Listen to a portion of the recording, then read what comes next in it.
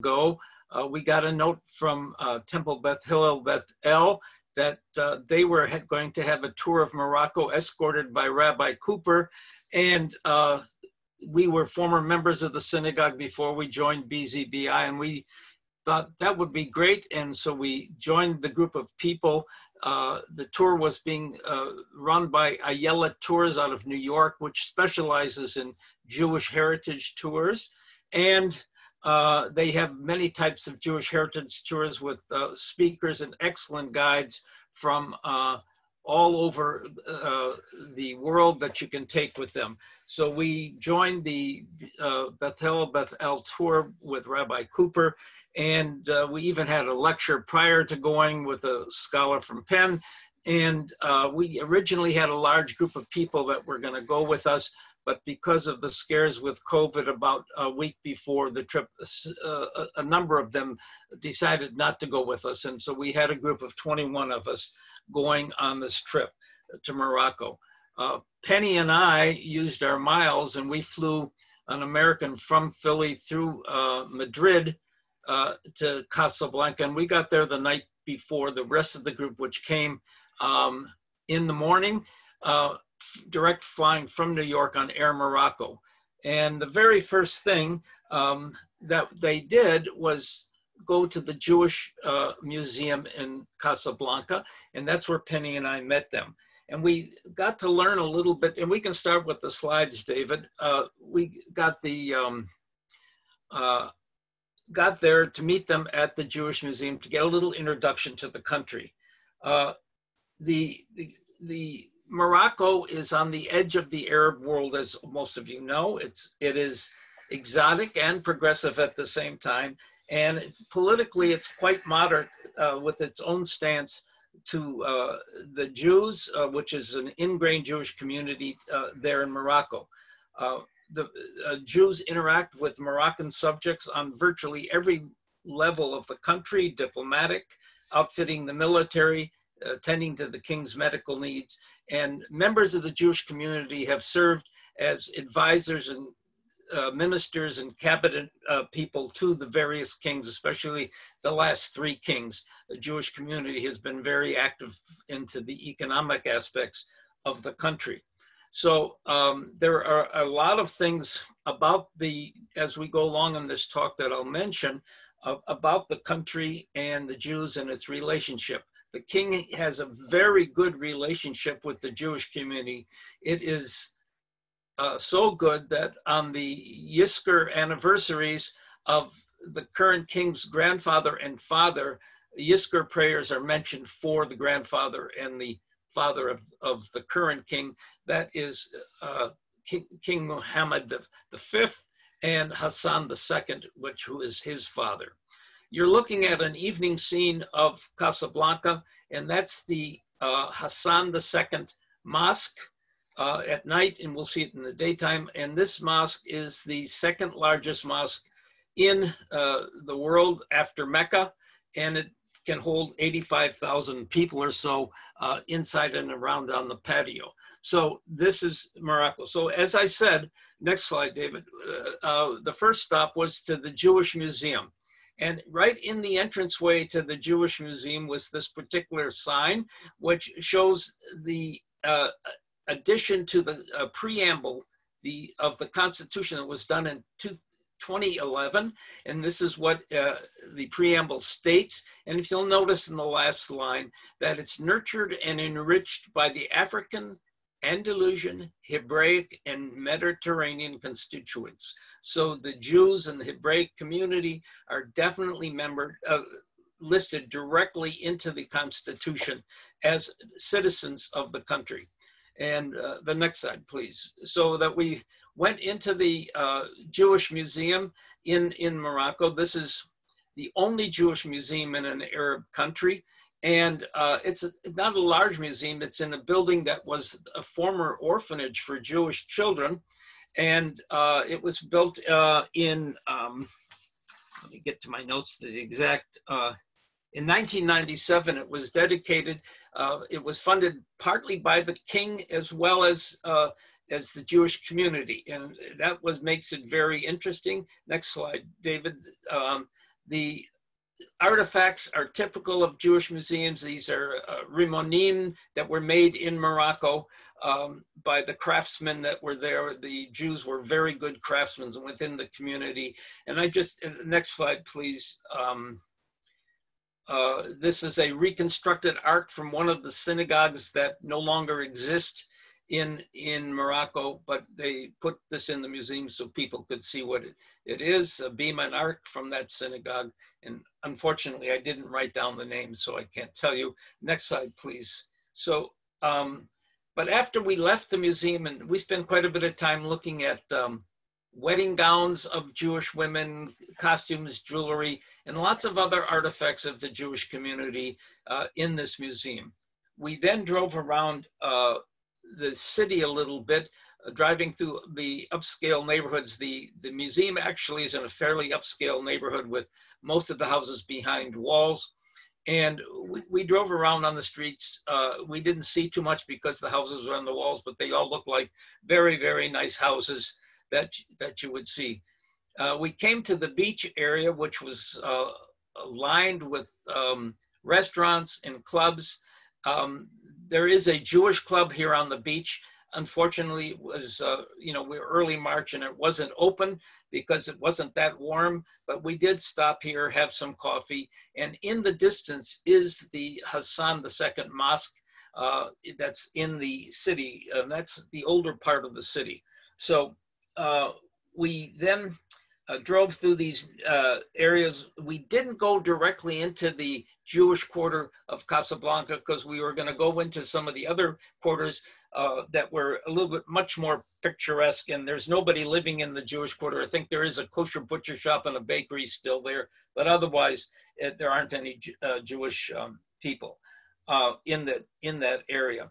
Um, then it was time for our uh, the travelers who were coming who didn't have a night's sleep to get to the hotel and rest before dinner. Next slide, please. Uh, so, oh, this is uh, this is a typical building in the Jewish area that I took, and it shows balconies and windows facing the street. This is typical of the Jewish quarter as compared to the Arab areas, which did not have windows facing the street and they had interior courtyard windows. Uh, but the Jewish quarter, so that we came, would have outside facing windows. Uh, next, please. Um, oh, I forgot this. We one of the places we stopped at was a palace that was in the heart of Casablanca. This is some of the decorations on this palace wall, the intricate carvings within in the the tiles, the mosaics, and things like that. Next slide, please. This, this palace was used for the Casablanca Conference in 1941, where uh, Roosevelt met um, de Gaulle and Churchill to discuss what's going to be happening. Excuse me, 1943, where they met to discuss uh, what was going to be happening after the war ended with uh, Germany and Italy and Japan. Um, next slide, please.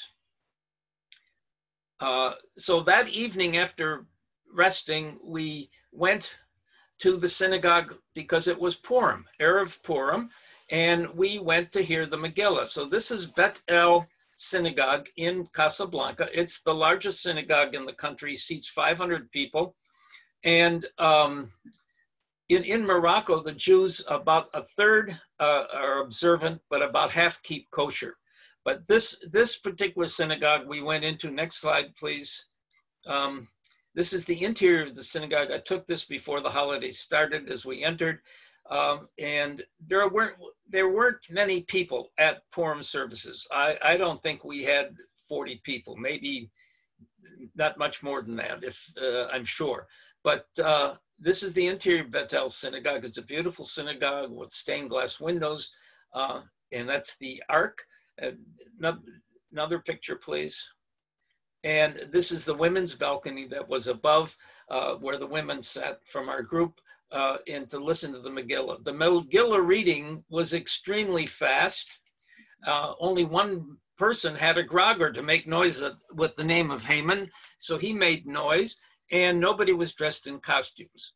I understand that in other synagogues in Casablanca, it was a little different story where they had uh, big celebrations of people and uh, it was very festive and uh, it was uh, different.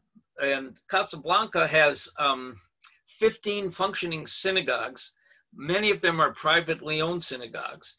And um, as, as, we were getting into the COVID virus, one of the synagogues called David Hamelech had a lot of people celebrating, especially who had come to France for a wedding uh, on Thursday, were celebrating. And it was thought that was the start of a COVID outbreak within the Jewish community that came after, after us. Um, there is a Jewish school in Casablanca, and it's a coexistence type of school, and about more than half the students are Muslim. And there's a growing Lubavitch presence within Casablanca. So after the Megillah reading, we went to, next slide, please. We went to the Jewish, um, oops, uh, this is in, yeah, that's the next day, but we'll get back. Next slide, please. Uh, okay, I don't have that in order, unfortunately, but we went to the Jewish Social Club, which served us a kosher uh, Moroccan dinner that we had after uh, the Megillah reading, and uh, this is the this is a this is the other Jewish club in Casablanca. Casablanca is the largest Jewish community in Morocco. Morocco only has about 2,200 to 2,500 Jewish people in the whole country, and most live in in uh, Casablanca, where they have their uh, institutions uh, that are for the whole community in the country.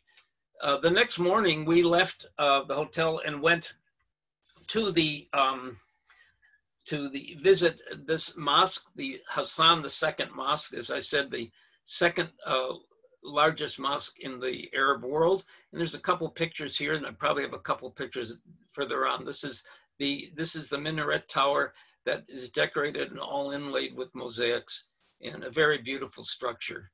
And they call for prayers from this tower. Of course, it's all by loudspeakers today. This is the inside of the mosque. It's beautifully decorated with chandeliers and areas. And we all had, of course, take off our shoes as you do in any mosque. And the areas marked uh, uh, with the stripes are the is the carpet where uh, the people pray, and this is the lines to let them line up properly when they do have prayer services. Uh, most mosques you can't go in uh, and tour. There's very few. I think in Morocco there's only two or three that you can tour. This is one of them. They have special times when they have uh, the tours and the visitors to the mosque. Um, but you can see how large it is. Uh, next slide, please. This is below the main area that we were just in. And this is the area where people come to wash their feet before going upstairs. And this is the fount that has the water for washing the feet. And I want to call your attention to the beautiful uh, chandelier uh, or lamp that's above this fountain. That's all hand tooled and hammered. Next, please. And from the outside, you see how big this is. Supposedly 35,000 uh, people can fit inside and about 50,000 in the plaza around it for prayers. And the, the mosque is directly on the Atlantic Ocean, which you can see in the background. Next, please. So after that, we went to the Jewish community. Uh, this is uh, the Jew, uh, this is the Jewish center uh, that's that's there in in Casablanca, and uh, we'll go to the next one. And like it's a big, this is one of the synagogues that were there in this Jewish center. And they also always had some guards around so that they were protected. Um, so next, please. And because it was Purim, they had just finished the morning Purim service. You can see the table laden with goods that they used on Purim with the whiskey and the, in the, in the um, wines that they were drinking. And this happens to be the Lubavitcher rabbi that was in this particular, he's the senior Lubavitcher rabbi. And unfortunately, he passed away of COVID after uh, early in April. And uh, the COVID virus hit the community and the Jewish community especially hard in Morocco. We'll talk a little bit more towards the end about that. Um, next slide, please. Uh, we went next door to the bakery and this is the some of the cakes they made, and you can see the shalach manos baskets that were being prepared for for them, and um, of course everything's in French because that's the language of Morocco's French and Arabic. Basically, they they have other languages, including Hebrew, um, but uh, it, we tasted some of these goods. They were terrific, and we we had a good time eating uh, their pastries. Next, please. And this is uh, the challah that they normally bake for every Shabbat. And uh, this, this worker in the Jewish ba kosher bakery, of course, as you can see, is Muslim. So there's a big integration of people uh, in, in the community. Next, please. After visiting that community center and the bakery, we went over to the Jewish, uh, we visited the old Jewish old age home. Uh, there are currently 21 people living in this Jewish old age home. Um, many of them came from outside provinces, from the uh, from the Berber country, and they came here to, to live. The Jewish community provides all the necessities for these people, from healthcare, dentistry, and whatever they might need, because they can no longer care for themselves. Um, our group bought gifts for the residents. We bought bathrobes and slippers for each of them and uh, we were given in advance the sizes of a, for the residents. We couldn't go into the nursing home because of COVID. We did uh, meet in the courtyard. Uh, these were some of the, this is a nurse from the uh, nursing home and some of the uh, other people who worked there that took the gifts in. And we had a, a talk with one of the members of the community about what was uh, happening there. Um, so after, after visiting the, the nursing home, next please, um, we stopped at a, at a craftsman. Actually, this is a craftsman in Fez, but you can play the little video, because I wanted you to show just how this craftsman was making tagines. And um, it, it, it, it, was just sort of fun to watch him make the tagine as, as, uh, as you can see the tagines that were around him and very quickly he made them. And um, they they were um, he took off the cover and he fitted to, to the base and there's his tagine. Then he they they baked the the ceramic uh, pieces and uh, in a kiln and then somebody would be painting him and decorating him later on later on. So we can stop the video i think david and we'll go on um, uh, with with the talk next please. So um, the we I, I we we had lunch that day in um, Rick's Cafe from the movie Casablanca. It's a tourist spot, of course, and buses were there, but we had a lunch in there, and it was from there. Uh, after lunch, we traveled to Fez, um, and this is uh, this is the outside of the Medina in Fez. Um, the word Medina is like the the shopping area, the walled enclosure where stores and souks and uh, hot hot bathhouses things were. And next slide, please. And right after we got to that area, we went to the Jewish cemetery in Fez. Um, it's the House of the Living, and there's a, a, a, guard there, and you know he accepts donations from people, and as a He's a caretaker, and it, you see the words in French as well as Arabic. And we went inside. Next, please. So this is one of the plaques as we came in is that was to a man who supported the restoration of synagogues in uh, in Fez, and they have two restored synagogues. We went into one of them, and you see the word slat, S-L-A-T. That's the word that they use for synagogue. And uh, it's, uh, you'll see that on virtually all the synagogues that we went to. Uh, next, please. So this is just another view picture in the in the cemetery. In next, please. Now, the king of Morocco has spent money over the last few years to restore 167 Jewish cemeteries in the country and about uh, 35 synagogues in the country have been restored by the king.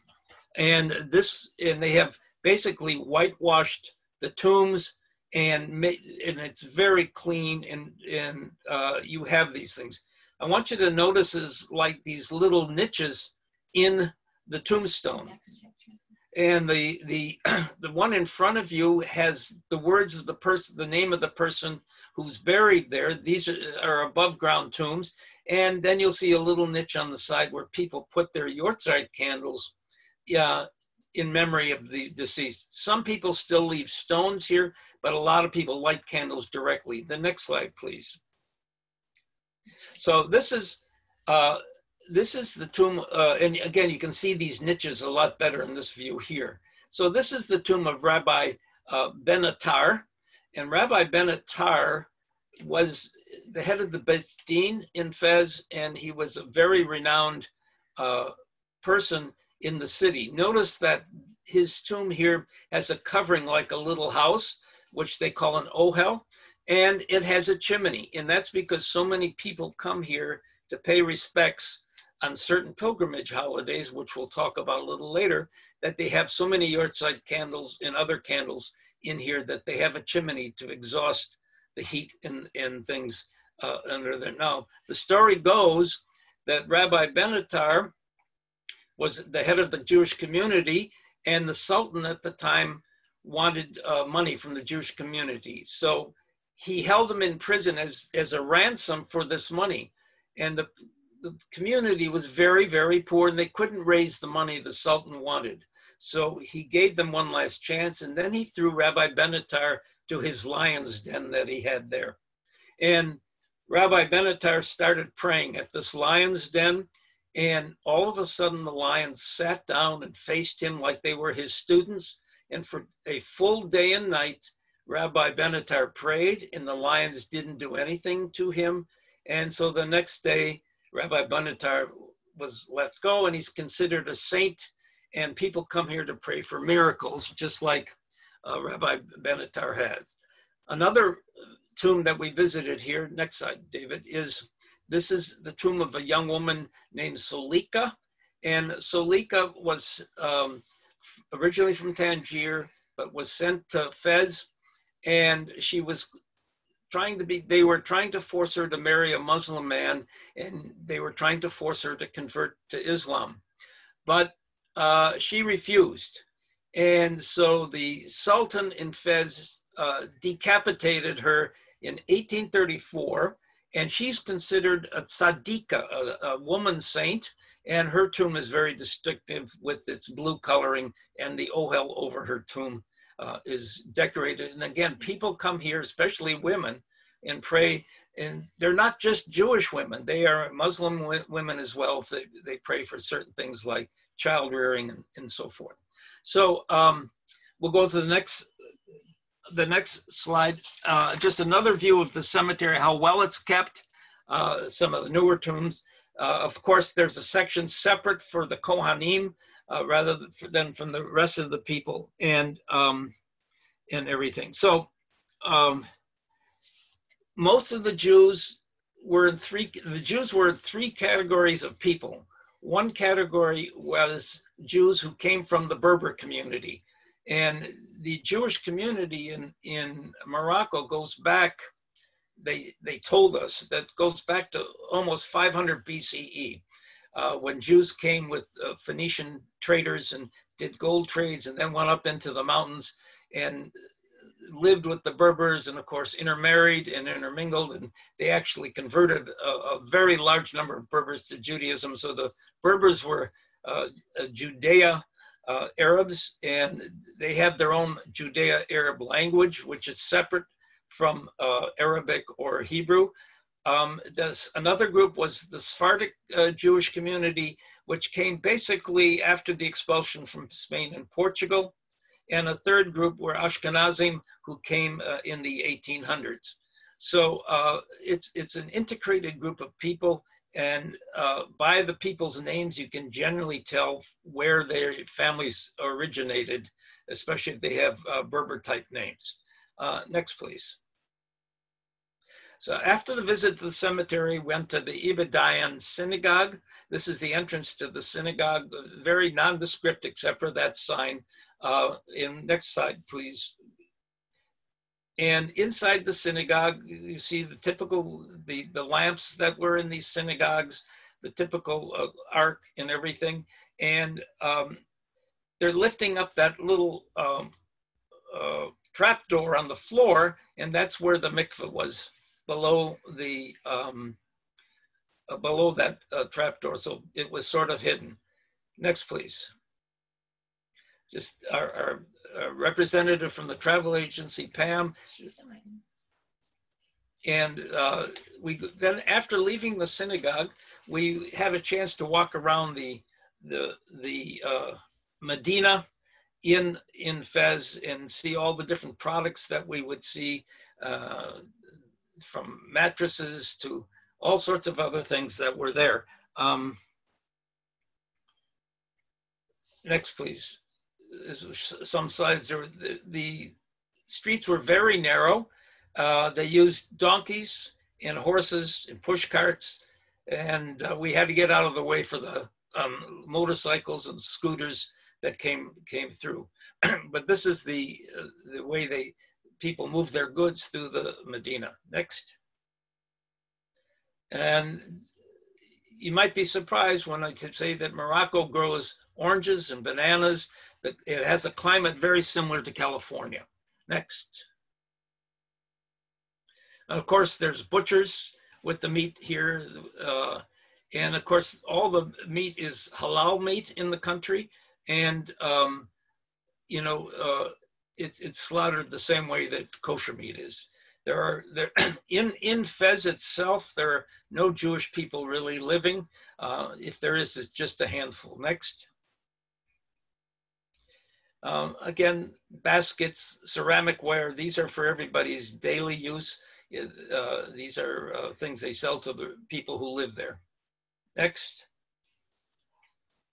this was just a sign showing where the synagogue was uh, going to be and uh, the area of the uh, in the in the Medina. Next. Now, after visiting, walking around the Medina, we then went to uh, a tannery, and we were we walked up about three flights to be in a balcony overlooking the tannery process. This goes back probably to the 11th century. They still tan uh, leather the same way. We were each given a sprig of mint so that we didn't uh, smell what was down there. Uh, but there you see the vats where they processed uh, the leather hides and dyed the, the leather hides the various colors. Next, and of course, then of course you have to go to the obligatory store to look at the leather goods and see if you wish to buy some of them. Um, and they had lots of different qualities from very soft to some very firm. But it was just interesting to walk through another store and look at some of the things that you could get. Next, please. Colors. The colors were beautiful. Outside of the Medina was the gates to the king's palace. Most of the cities that we went to had a palace for the king. This was his Fez palace. Uh, there were no, uh, we were not able to go inside. They didn't have tours or allow tourism inside. Uh, this is a private palace of the king. And um, the um, palace behind the walls, he has a golf course. So uh, it's just a pretty decorated with mosaics and, and things outside that we looked at. Next, please. But again, some more streets in the in the Medina with the mules taking the goods through the streets. You can see how narrow they are and that we had to get out of the way uh, for, the, for the mules. Um, so next, next please.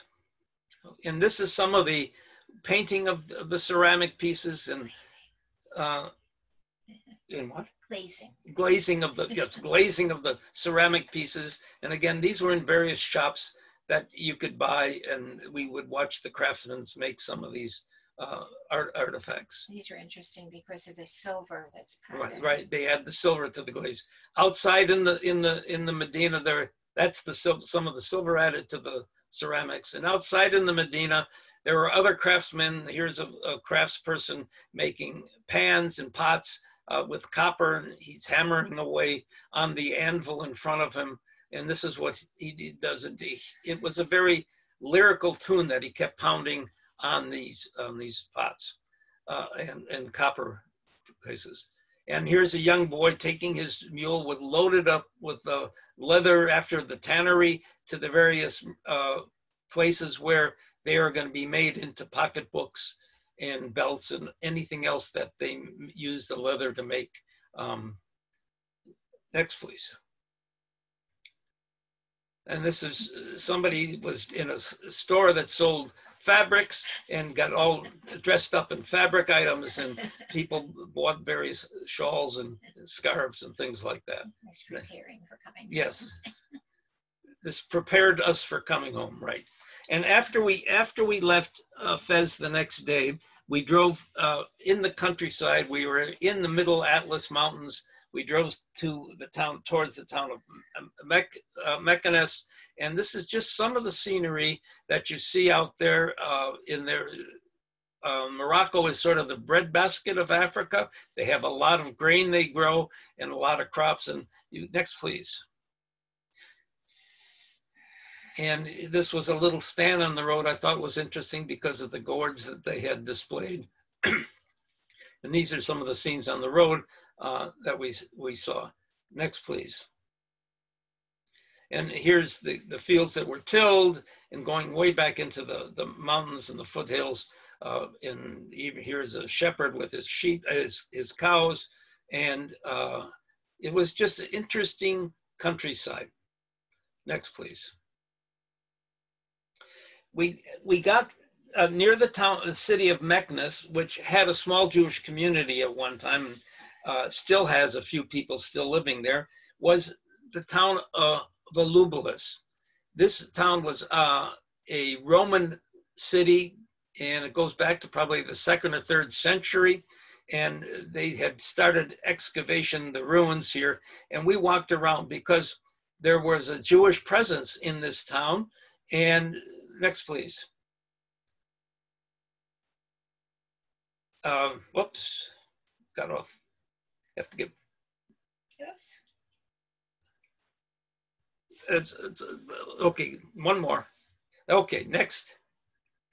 This is, there you are. Okay, so this is Jewish presence in this town, and this is uh, a tombstone from Volubilis that had uh, Hebrew writing on it. So there were Jews present as we know for sure during the Roman time in um, Morocco. And uh, they, they were interesting. They were mostly up in the, in the mountains. They weren't along the coastline uh, at all. Next, please. Uh, th these ruins were uh, very nicely done. And uh, as you can see, um, uh, the excavations were, as I understand it, they're still excavating it here. Next, please.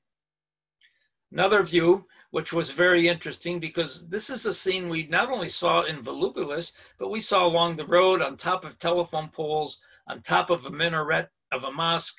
We saw these big uh, nests with uh, birds. And these are stork nests. And here you can actually see the stork in the nest uh, uh on the, on the uh, column. So we saw these quite a bit throughout our drive. Next. And this is a father and son is out in the countryside, just along the road. And they were, they, he was a vendor selling things. That's a little vendor shop next to it. And next, please. And in, in Volubilis, there were beautiful mosaics that had been excavated and cleaned. And next, please. Uh, after, after leaving Volubilis, we came towards Rabat, which is the capital of the country. And just outside of Rabat is um, the tomb, uh, the tomb of the past two kings, King uh, Muhammad V and King Mohammed II, uh, the father and grandfather of the current King Mohammed VI. This is the guard outside the tomb. Uh, next, please. very colorful, like many tombs. This is the tomb. I didn't take an inside uh, picture here, but it's very well decorated and a beautiful sight to see. And many people come to visit uh, the tombs of these kings. They were very uh, benevolent kings, not only to their country, but to the Jewish community as well. Um, one uh, King Mohammed the uh, the uh, fifth. I'm, I'm, trying to get make sure I have the, the dates right. In any case, during World War II, uh, remember Morocco was a French protectorate, and during World War II, um, the uh, the Germans were the Vichy France, which was occupied by by the Germans, and they came to Morocco. Uh, actually, the king invited them to come to Morocco, and he invited them for his birthday party in 1941. He had a birthday party, and he invited the Vichy French to come, as well as the leaders of the Jewish community. And he sat the Jewish leaders right next to the Germans from the Vichy France. And so the Germans got up and left. And the king was very benevolent so that he would not allow the Vichy French government, which sort of was the protectorate over Morocco, to have the Jews uh, sent to concentration camps or to Europe hmm. for e extermination. He, he said, everybody who's in our country, they're all Moroccans and they will stay here. Uh, next, please. Mm-hmm. Uh, we got to Morocco, we got to Rabat, and it uh, there was government activity within the, the, the center of government, so we couldn't go down uh, too close to some of the government buildings, uh, but we did go uh, to the Kasbah.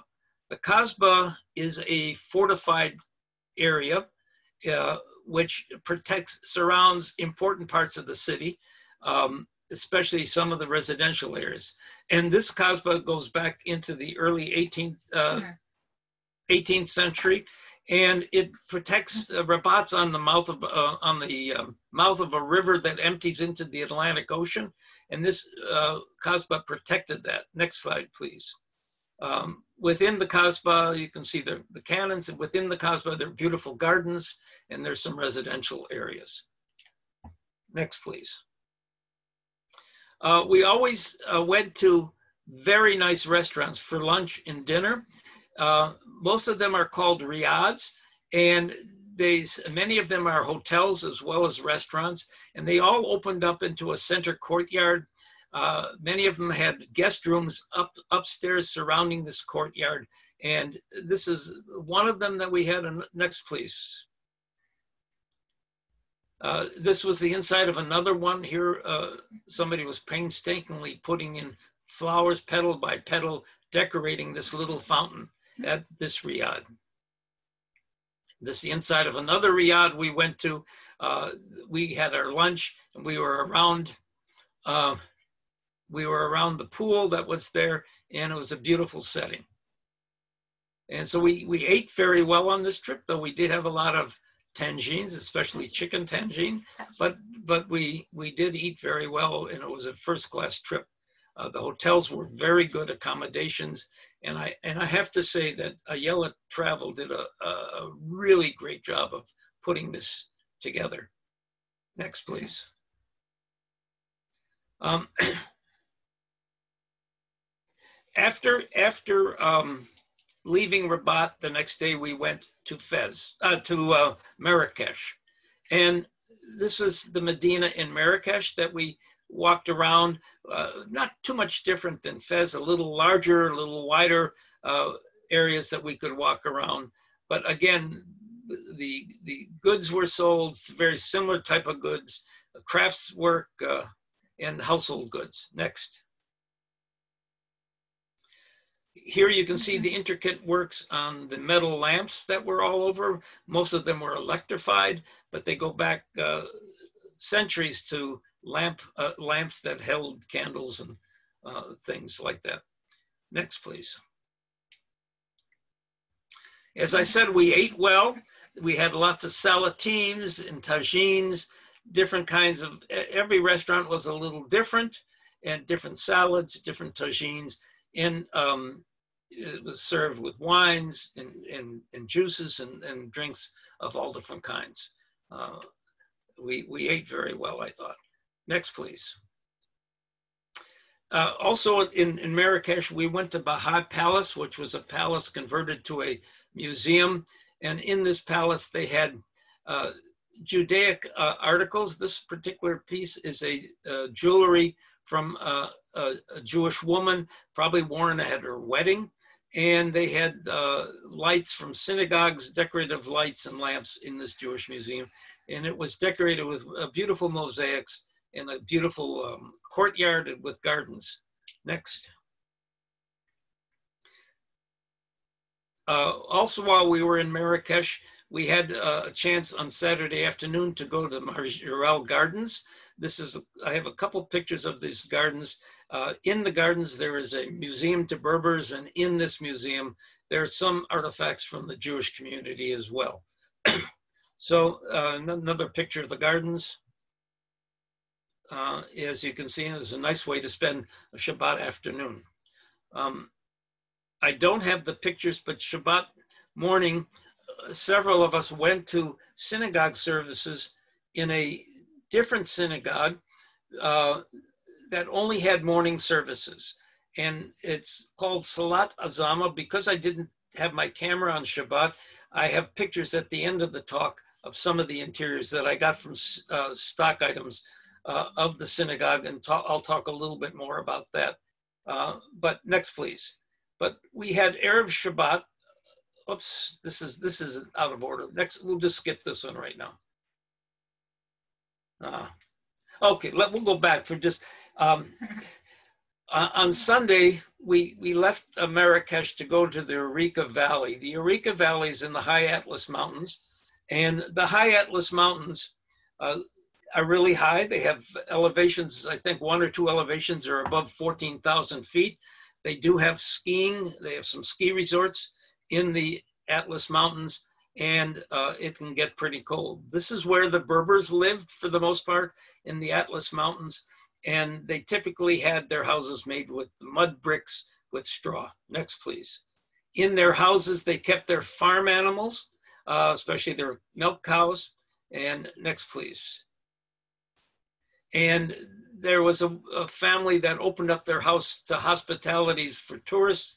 And here's the young lady um, making us mint tea, and she served some little cookies to, to all of us uh, while we were there. very specific way to make right. the tea. And there, there is a very specific way to make the tea, and we had cooking lessons. We can talk about that later. But next, please. So this is an outside view of the Berber village. Some of it, as you can see, is concrete blocks, but they still use some of the mud blocks. And next is a picture of uh, a woman with her sheep uh, right on the outside of the village. And they're pretty straggly looking sheep, as you can see. But these are this is a poor area for the most part. But the Jews, uh, a lot of Jews who came early on in uh, 8th to the 12th, 14th century, this is where they went to live, was in the mountains with the Berbers. And of course, they intermarried, and there was a, a large Jewish Berber population uh, in Morocco. Next, please. Okay, in, in the Ourika Valley Mountain, there are tombs of, well, not just in Ourika Valley, but all around Morocco, there are tombs to tzaddikim, to saints. Um, this is the tomb of Rabbi Shlomo ben Hanas. And this is his tomb. It's about an hour, a little over an hour outside of Marrakesh. It's isolated. It's got a compound surrounding the, surrounding the tomb. It was protected by a Berber family until the last person in the family died. And now it's uh, protected by a Muslim woman. The compound has some rooms for guests to stay in, and she cooks kosher meals uh, for them. Of course, they pay a fee. And many people come to this tomb to pray for various miracles uh, that Rabbi Shlomo ben Hanas was supposed to uh, have done. Rabbi Shlomo was an emissary that came from Israel to the diaspora, to, to Morocco, to collect funds for the Jewish, poor Jewish people in the yeshivot in Jerusalem. And I, I was growing up in, in my town in St. Paul, Minnesota, and we would often have these shlichim from various yeshivot, mostly in New York, who would come to Minnesota and go to all the businessmen in the community to ask for um, to ask for um, uh, funds for their yeshivot, and my father would always give a few dollars to each one of them. And of course, they know who to go to in the community to get the money. And it was, but this is what this man did. So, in in the in the middle 1600s, he was um, going through the Ourika Valley, and he died. And he died right here where his tomb is. And the story goes is that after he died, some of the people wanted to steal all the money that he collected. They knew that he had money, and they came to where he was, and uh, they saw they couldn't get near the sacks of money because there were snakes all around, and the snakes were guarding, guarding this money, and so they were afraid. And he was known for the story of snakes that were guarding his body and his money. And he was known for another story where he stopped the sun. He was traveling to a town and he was afraid he wouldn't get there before nightfall. And so he was able to stop the sun setting until he could get to the town.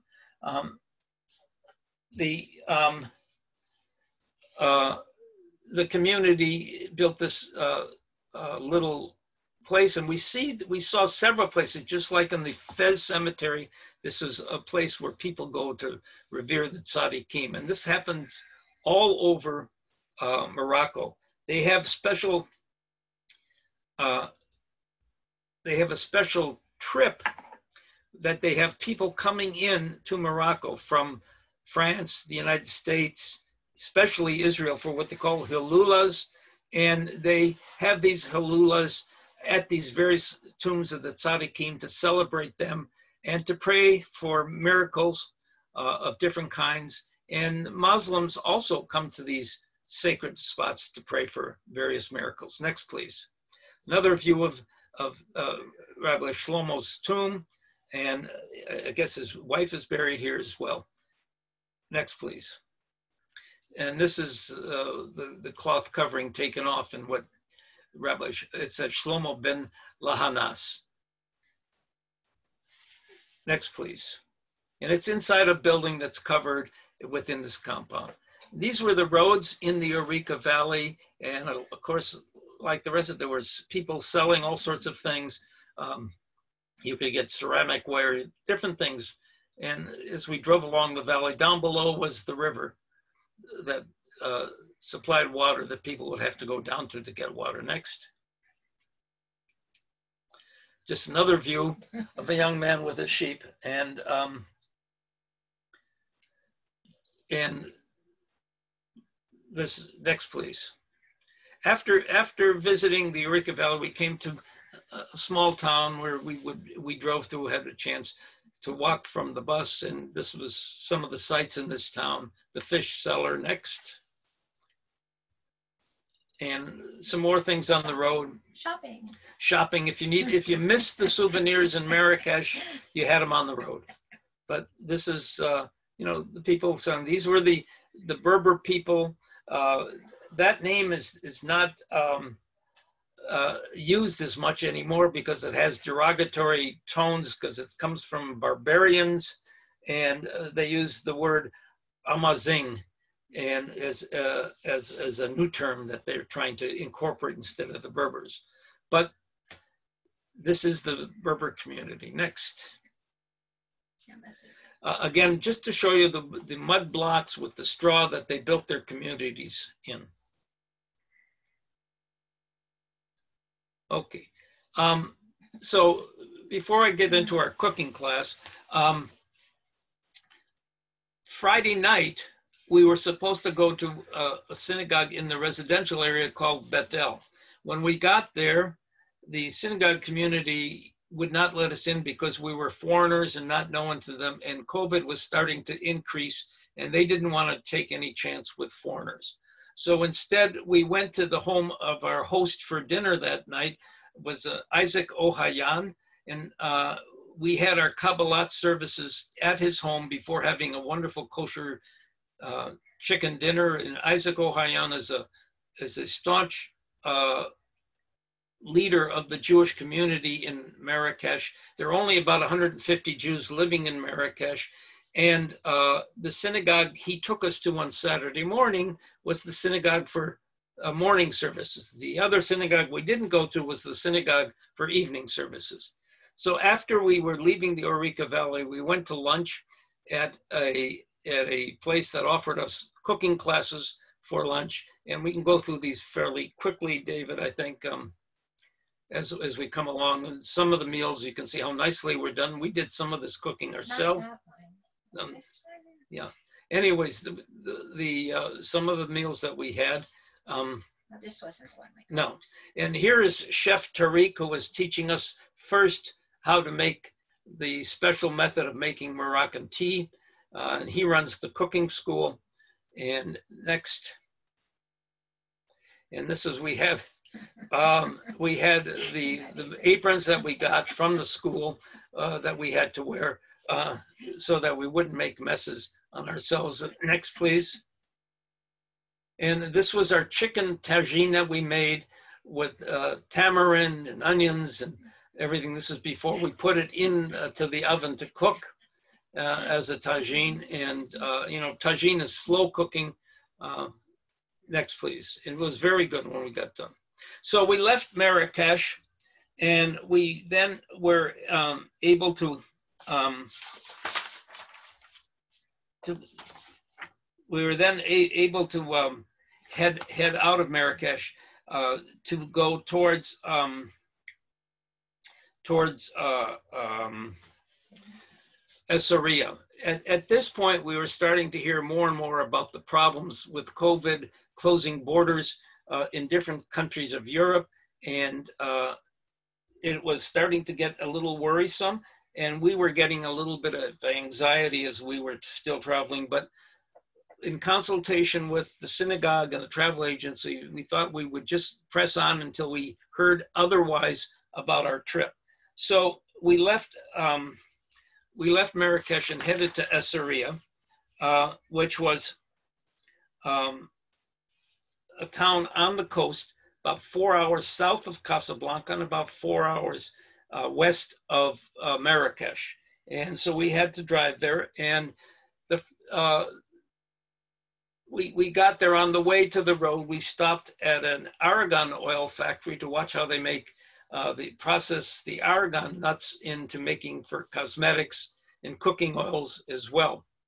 We got into the hotel in Essaouira and we heard more and more things that they were going to close. They closed down the airports for flights in and out of Morocco and uh, the borders for sea passage to Europe from the ferries. And so the travel agency, uh, Ayelet Tours, and the synagogue in Philadelphia, uh, Temple Beth Hillel, got to work in trying to arrange our, our coming home. So we continued with the tour. The first thing that we saw in Essaouira again, was another Jewish cemetery. This is right on the Atlantic Ocean. There's actually two sections. This is the old section and a newer sections uh, on the other side. But this is another one of these ohels. And this ohel was to Rabbi Chaim Pinto, who was um, in the 1800s a, a revered rabbi in Essaouira. Essaouira at one time was 40% Jewish and had oh, close to 30 functioning synagogues. So um, uh, about 25 functioning synagogues. So it was a very Jewish community. And again, the similar type of cemetery. This one I don't think has been whitewashed so recently, but it uh, it was there. Um, the uh, it, it's a multicultural city. The, the Muslims and the Jews got along very very well. Um, so next slide, please. After leaving the cemetery, we went to the synagogue. Uh, oh no, this was the, this was the chever of, of, Rabbi Pinto. This is a sign outside indicating that this is his gravesite, and some of the other prestigious rabbis that were uh, there. Um, next, please. And this is the inside of, of his uh, of his ohel, and with the benches all around and the books, and people would come here and pray. Inscriptions on the inside of the books, a lot were in French. The French people came here and they, again, they pay, pray for uh, various supplications for various miracles. And uh, we prayed so that we could get out of Morocco without any problems. And uh, you know, there was a, a tzedakah box on top of the grave there, so that uh, of the gravestone, so that we did make leave a contribution to help. Next, please. And then we went to the Rabbi Chaim Pinto Synagogue, and this was just down down a little bit from the cemetery, and it's a rest- one of the restored synagogues. It's in the old Jewish uh, Mellah, uh, which is pretty well destroyed here in Essaouira. But next we'll go inside the synagogue and um, see how nice it's been restored, and that um, uh, it's it's freshly painted, and the Torah and the Ark, and things like that. Uh, next, please. There's a couple women's uh, sections around the synagogue. Uh, they had two, actually, one on the third floor.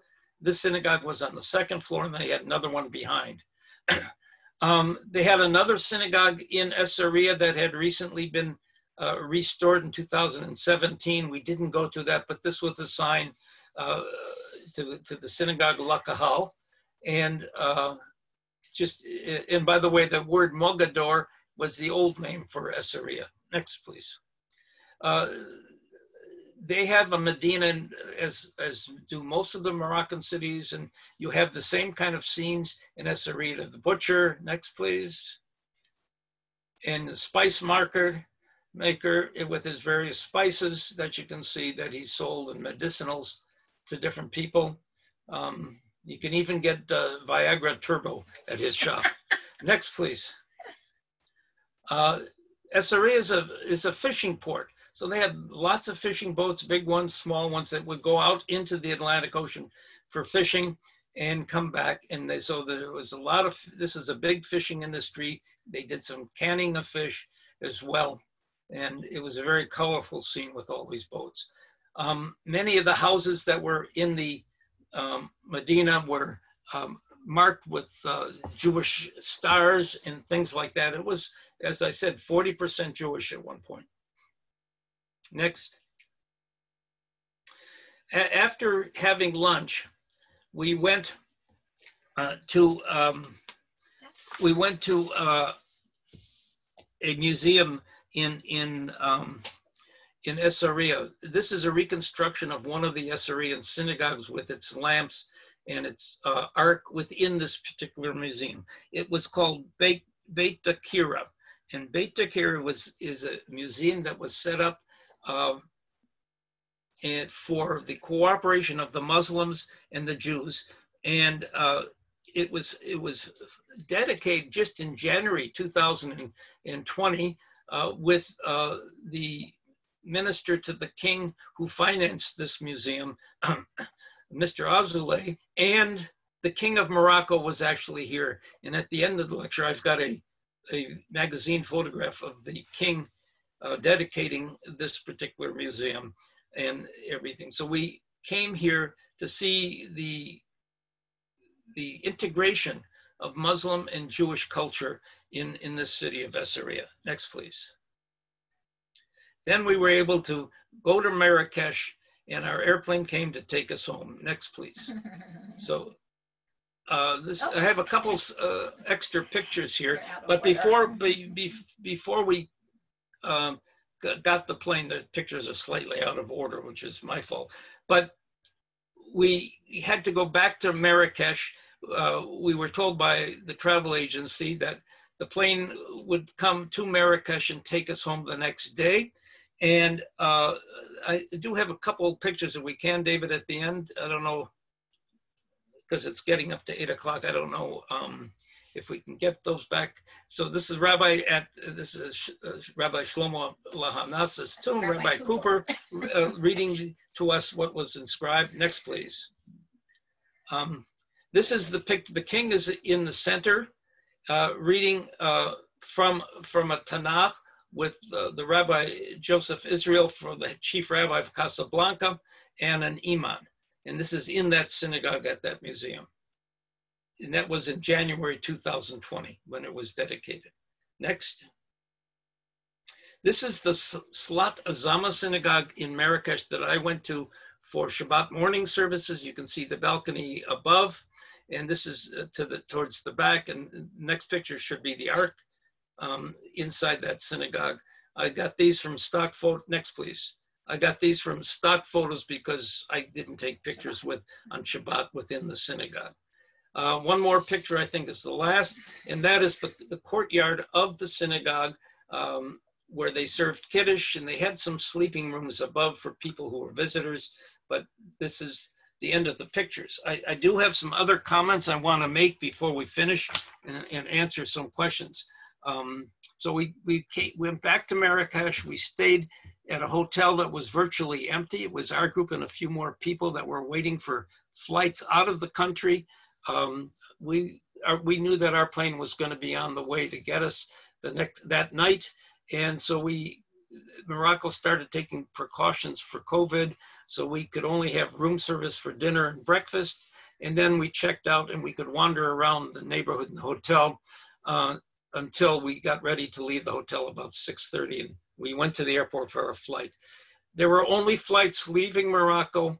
Um, most of them were charters to London, uh, to Dublin, to Rome, uh, and I think one to Romania. But there were just there was nobody else leaving Morocco, and we were told that we were the second to the last flight out of the country. And so we're grateful for uh, Ayelet Travel and, Beth Hillel Synagogue for putting all that together so that we could get our flights home. Uh, a couple notes that I wanted to mention uh, before I, I finish, and that is uh, some statistics about Morocco that I found very interesting. Um, in 19 in 19 um, in in 1956, the the Jews were granted when when France or when Morocco got its full independence from France, the Jews were granted equal citizenship and were able to do everything that uh, other people in Morocco could do. Now, Morocco is part of the um, Arab League of Nations, and it does not recognize Israel uh, diplomatically, but Mor Morocco does allow Israelis and Israeli passports to come to the country, but not from directly from Israel. And of course, El Al does not fly to Morocco, so they always have to go through Europe somewheres and to get there. And but um, they do have some cooperation uh, agriculturally with Israel, and they do buy some military goods from Israel. In January, they took Morocco took delivery of three Israeli drones that included training of the pilots to fly them, uh, used for security on their borders. So they do have this unique relationship with Israel. Uh, also, um, uh, is Islamic law prevails in, in Morocco. But there is also a rabbinic court that takes care of all functions within the Jewish community, especially marriage, divorce, and inheritance laws. That's all handled by the rabbinic court uh, and is separate from the civil courts of Morocco. Another interesting thing in my reading that I found out, Morocco doesn't have an extradition treaty with Israel, and so some Israeli gangsters that have been, who left Israel because they had committed crimes, have come to Morocco to live because there is a small Jewish community and they can't be extradited to Israel, so they've they've settled there. One other thing that I found uh, um, interesting was um, that uh, in 1777, Morocco uh, made the first treaty with the new United States, and it was negotiated by an American of Moroccan descent whose name was Isaac Pinto. And today, that is the longest unbroken treaty that the US has, um, is with Morocco. Uh, Morocco also teaches the Holocaust in their universities. And the main paper in Casablanca on the front heading also has the Hebrew date for the day, the Jewish date, and if it's a holiday, they'll also have the um, uh, congratulations for Purim or whatever the holiday is on the paper.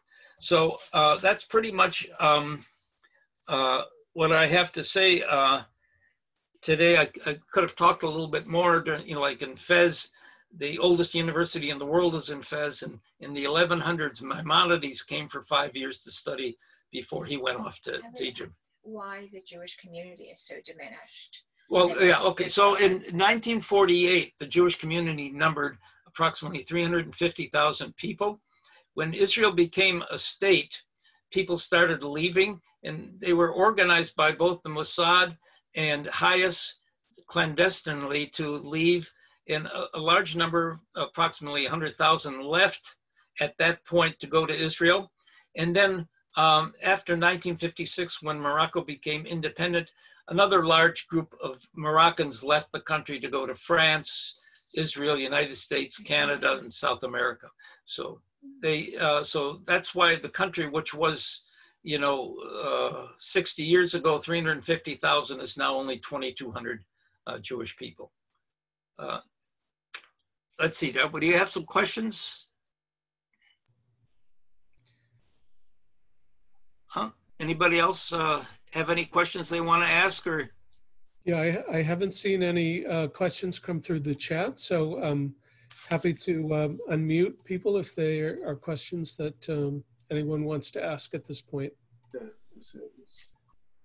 Say something. Shell, Yes? can you, okay, it's Lois. Um, what about children? What, what was the presence of children?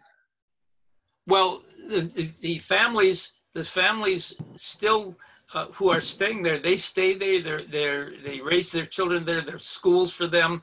Uh, they do have a Jewish education. But of course, you know, it's older people who have stayed because of businesses or what other ties they have.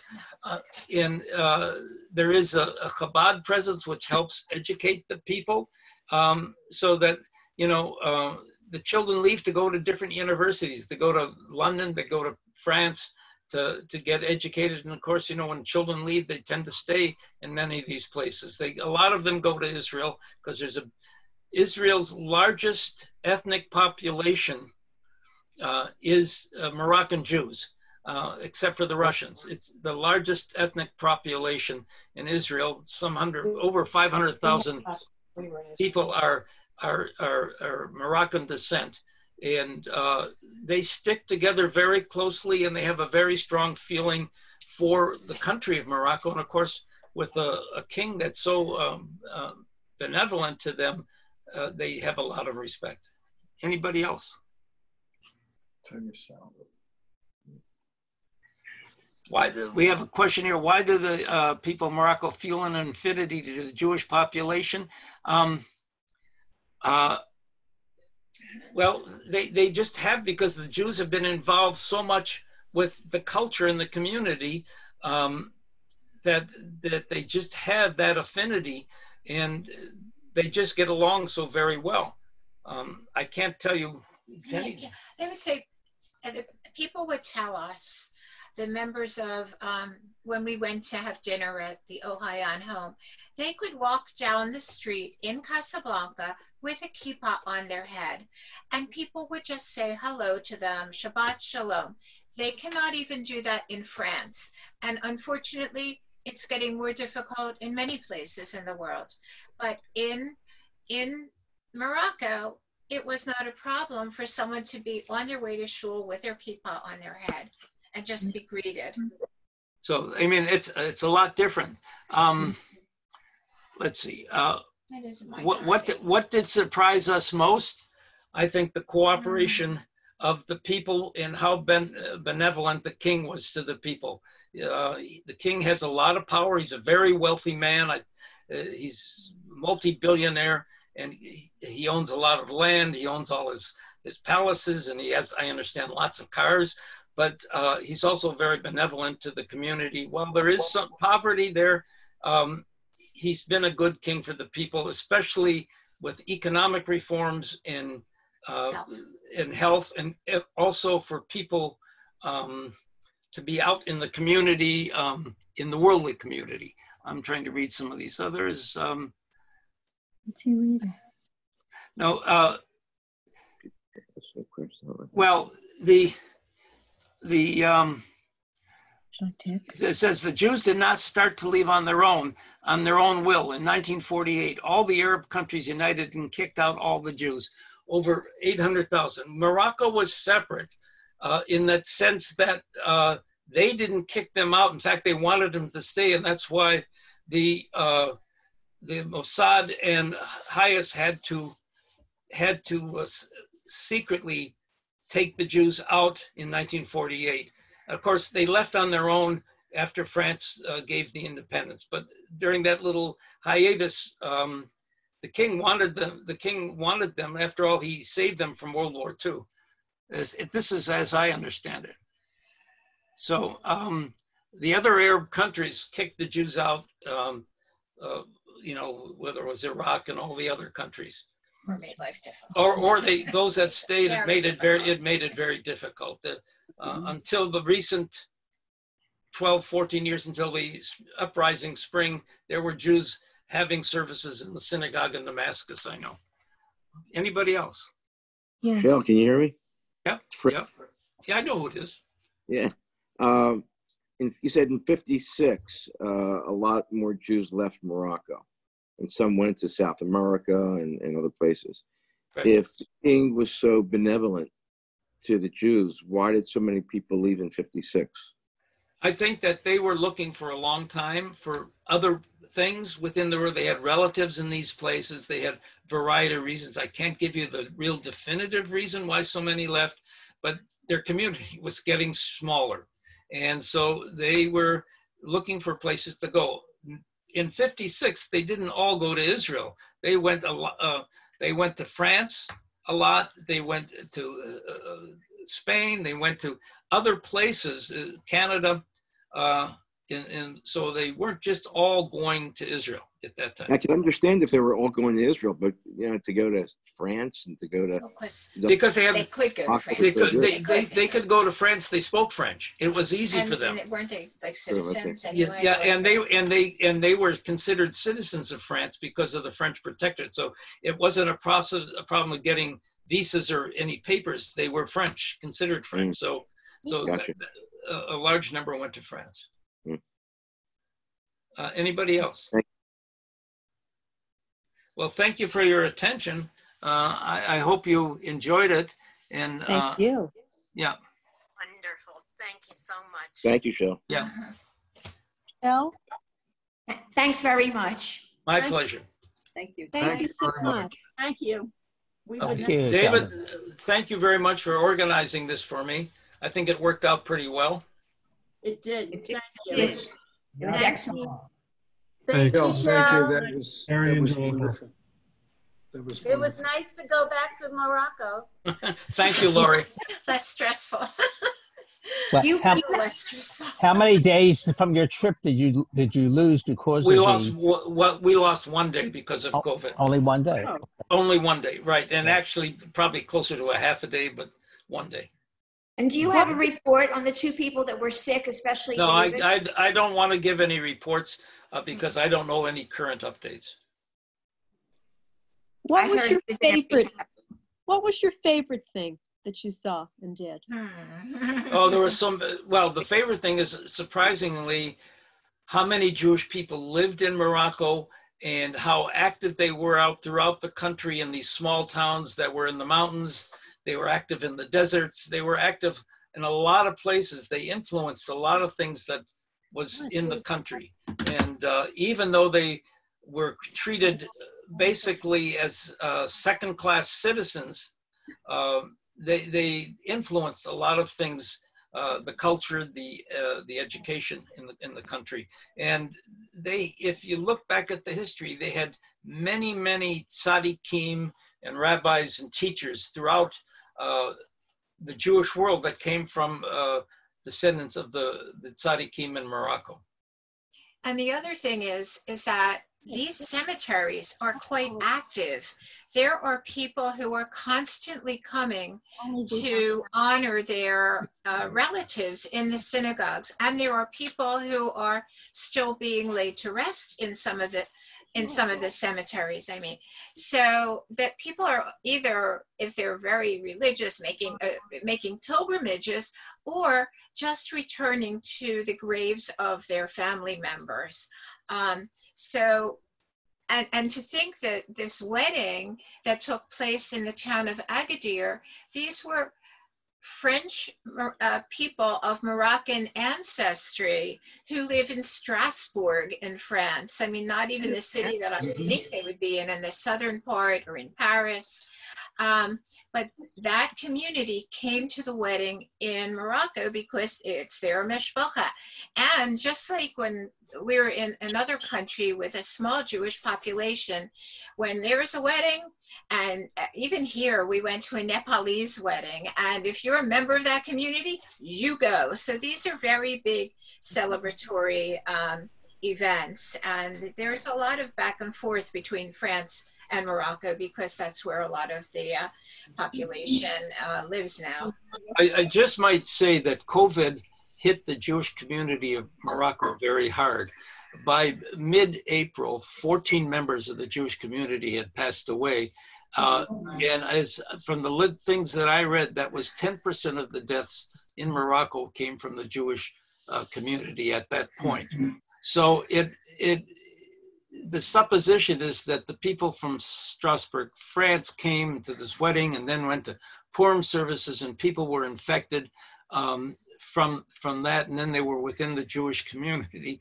But prior to our trip, a, a few days before, there was a group from London that was there, and several people from uh, the Jewish group from London on a tour, and several people from that group No, we didn't know. we until- didn't know until we got home, but they got sick. And even after, uh, even after the first of May, there was a group of Israelis that got very, very sick and lost some members of their trip, uh, people that had traveled there. So the Jewish community was hit very hard by, by COVID. I hope that they have recovered.